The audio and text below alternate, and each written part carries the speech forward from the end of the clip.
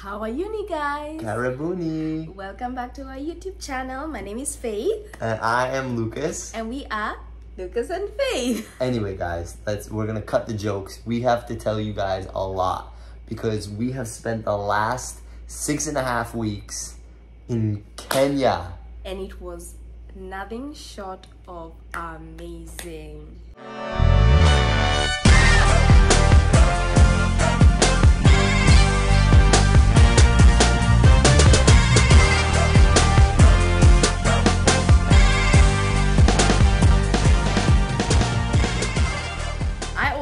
Going back home because that's where I was born, that's where I was raised. It's always good to see the people there.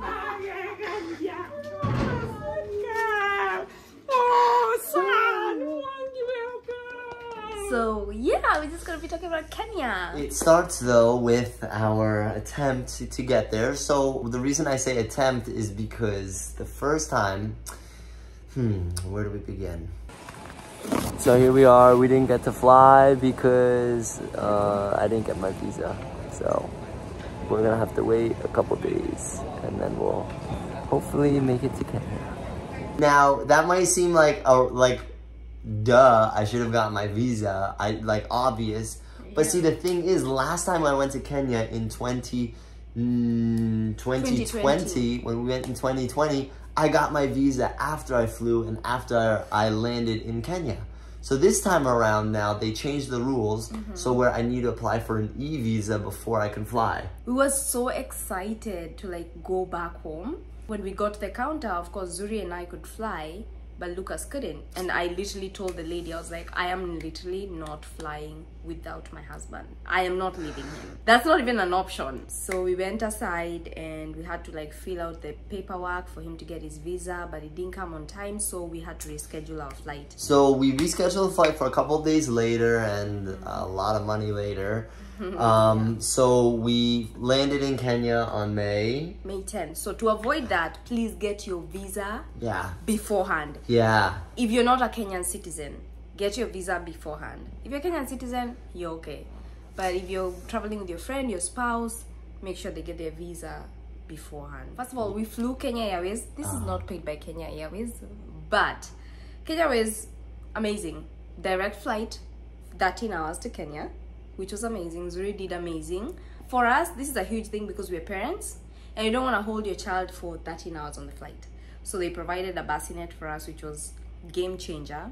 And guys, Zuri did incredibly Yeah. on the flight there, on on the flight back. She didn't on the flight there. She fussed, you know, just maybe cried or whined just a little bit. But on the way back, she didn't cry once. Yeah, like. I, I was so, I was so thankful. So Faith did an amazing job taking care of Zuri on the flight, um, both there and back. But yeah, then we got to Githurai. Uh, well, we got to Kenya, and then of course we are staying in Faith's hometown, Githurai. So Githurai 45, um, to be specific. And for me, that's home. So going back to Githurai 45, ah, it's it's like my favorite place. One nice thing about being back in Kenya was the food. Salad, Salad, chapati, chapati, This one is pilau. You can pop it pilau, pilau. pilau. This one, jahe, jahe. Ooh. mokimo. Wow, I've never seen so much mokimo. And stew. and uh, And what's this one? More rice. More rice. Plain white rice. And then And then more pilau. Ah, can't wait. So much good food, just like everywhere we went. Such nice, fresh, organic food. Um, the tea, you know, drinking chai like three times a day. This, I have to confess, this might be my fourth cup of tea for the day. And uh, it's not even evening time, so I'm probably gonna have my evening tea.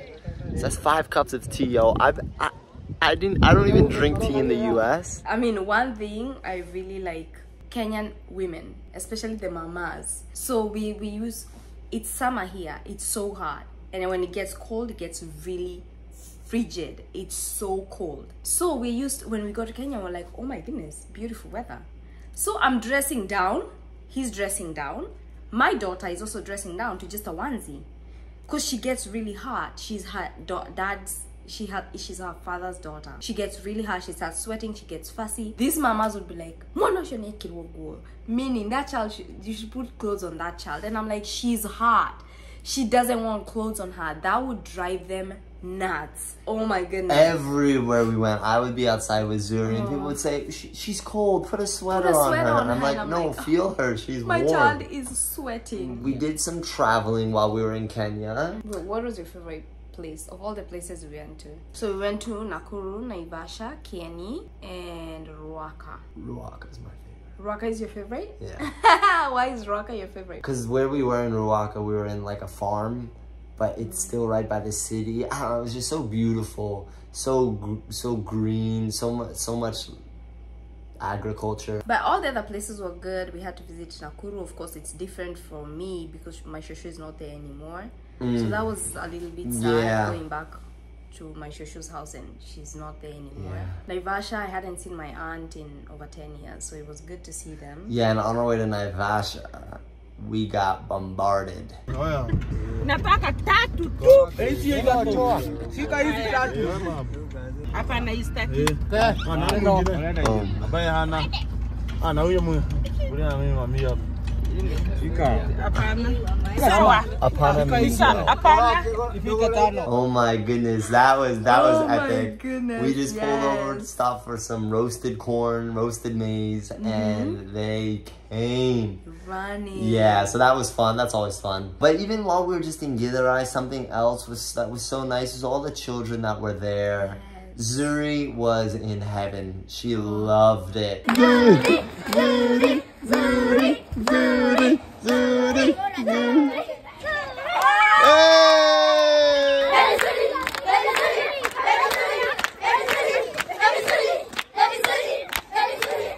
so she's such a social baby, and so she Just loved her father. just like her mother.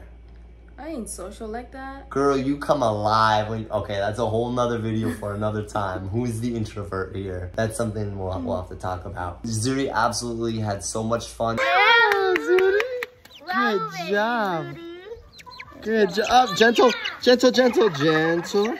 Even on the street in Githurai, I know you might, I don't know if many of you have been to Githurai, but like there'll be goats just walking down the road. There'll be some cows. There'll, a guy will come with his camel, you know, to give kids rides. Yeah, she had so much fun with the kids. And she would literally just every, every morning Lucas would take her outside. So like she would wake up and she'd just point to the gate. Yeah. Like, eh, let's go. And Yeah. when you would take her outside and then try and bring her inside, she would throw a fit. She never wanted to be in the house. She just wanted to be outside, just like her father. So, um, something I found difficult while being in Kenya, really difficult, was transportation. Because we would go around as a group, we would be like eight or nine people, and we didn't have a car, so we'd have to take sometimes even like three Ubers, Ubers. to go somewhere, which was kind of overwhelming. And then even being in a matatu, some of those matatus sitting in the way back, oh my goodness, it's so tight. Don't hit your head, Leah. But Yeah. anyway, anyway, no complaints. We drove on a boda boda together. Oh my gosh, yeah, we um, took which Zuri on is a boda yeah, we took Zuri on a boda boda. Yo, we did everything. Yeah, I don't think my mom knows we took Serena Boda Yeah. Boda, so she'll probably see this video and she'll be like, You took my baby on a Boda Boda?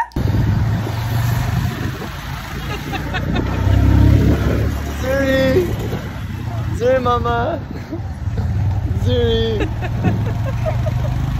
But yeah, she had. I mean, the first time she was on a Boda Boda, she cried, and then the Yeah. second time she was fine. We were able to visit the giraffe center because Mm. I wanted Zuri to see giraffes. I mean, she wouldn't register it in her head, it was more for us. This one doesn't like kids. He doesn't like it. She saw giraffes, she saw um, warthogs, she saw crocodiles. She was actually scared of the yeah. crocodiles. Na anaweza kuslapia na tena. Oldest ni ule mwenye amefesi uko chini 51 years old. We went to Mamba Village, Yes. and she got scared of the crocodiles there. We saw tortoise. Say hello, Canodias. ostriches. Those are kind of like the animals we saw, right? Yeah. We also had our friend Aliyah with us. Where's the scrubber thing? Here's Aaliyah washing laundry by hand. She just like blended in so well with like out the culture. I don't think for her there was a huge culture shock. One thing I did I'm so mad I did not get to enjoy while in Kenya was smoky pasua. What's smoky pasua? Uh, smoky it's like a hot dog you split it in the middle and you put salsa kachumbari and with i don't know if they put tomato sauce or hot sauce i cannot remember but that when I, when i used to live in kenya i used to eat that a lot and it was 20 bob now it's 50 bob. I'm like when what's in this smoky pasua that it has to be 50 bob i was shook. And then we ate samosa roadside samosa for 20 bob. Na venye nyama iko bei kali i think tulikula nyama ya punda. Because there's no way there's no way beef will be 20 shillings. That was donkey meat that we ate me and Aliyah. i remember like biting into it and i was like mm, this this don't taste like beef One other thing, we stopped at Viewpoint, which was is always a highlight whenever we go to Kenya. You know, on our way to mm-hmm. Nai- Naivasha or Nakuru, we stop at the Viewpoint. Be careful. Oh my goodness. Look. Oh, look it.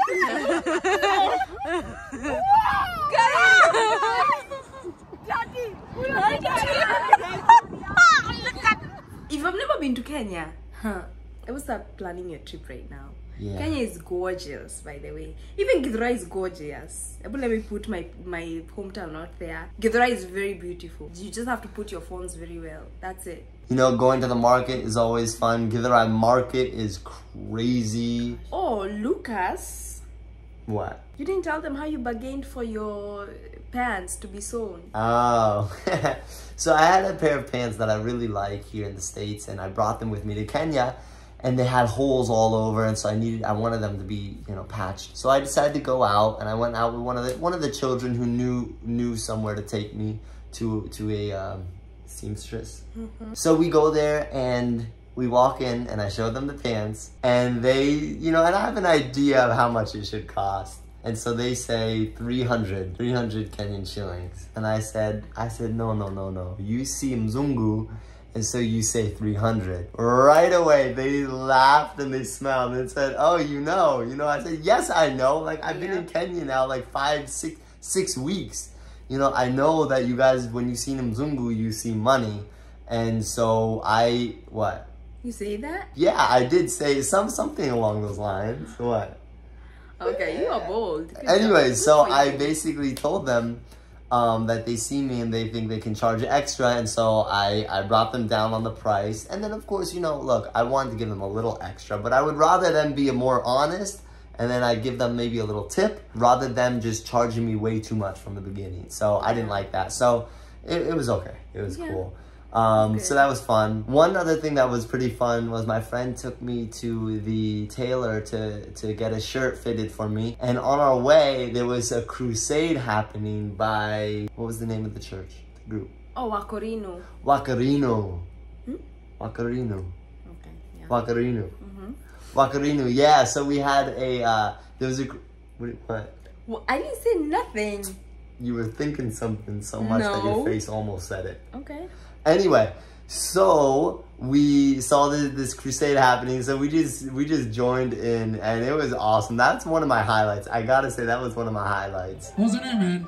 I'm Lucas. Lucas. Yeah, Mwangi. Was was just being there with the crusade on the street spontaneously. just jumping around we weren't just jumping around; we were worshiping. Just Okay. jumping around. we were just jumping around No, we weren't just jumping around. Lucas spent a lot of time with the kids, so he was always outside with the kids, which was beautiful to, to just see.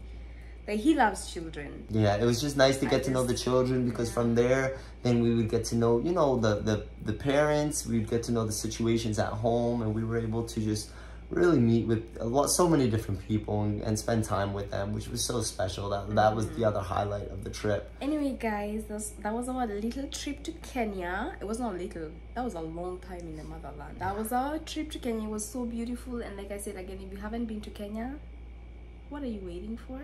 Something else. That Faith, Faith's got some stories from Kenya she has not told Let me you about. Tell you the next video. the next the video. next video, I'm gonna give you some exclusive stories. Okay, Faith had to go to the doctor. I got sick in, In Kenya. Kenya. So we'll tell you what she got sick with and what she had to go, how her And experience. what I had, my experience, what I had to go through. yeah. Then God, I didn't die. It'll wait, it'll wait, it'll wait. So thank you so much for watching, everyone. Thank you for for giving us your time, and we hope you enjoyed the video. To the new subscribers, welcome. Yeah, And welcome. You see this video and you haven't subscribed yet, hit the subscribe button and hit the bell notification so you're notified every time we post, even though we haven't been posting. yeah.